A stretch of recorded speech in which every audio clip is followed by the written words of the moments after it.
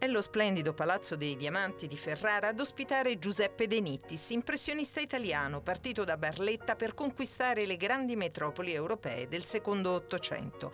Tra pittura, fotografia e cinema si snoda un percorso espositivo attento all'universo visivo di un artista inquieto e ribelle. I paesaggi assolati della sua terra natale, le campagne pugliesi, il fascino del mare in tempesta non abbandonano mai il giovane De Nittis, che studia insofferente a Napoli all'Istituto di Belle Arti, che presenta appena ventenne le sue opere all'Accademia di Firenze, suscitando l'ammirazione dei macchiaioli. Ma è a Parigi, vera fucina di nuovi fermenti pittorici e culturali, che trova la sua strada e il suo stile. Le donne eleganti, la vita dei caffè, i boulevard sono il soggetto preferito dei suoi quadri. Nel 1874 De Nittis partecipa unico italiano alla prima mostra degli impressionisti.